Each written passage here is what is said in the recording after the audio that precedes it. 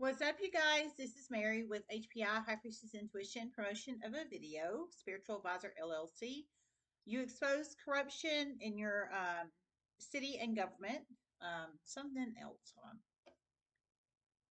on. Uh, well, okay. Yeah.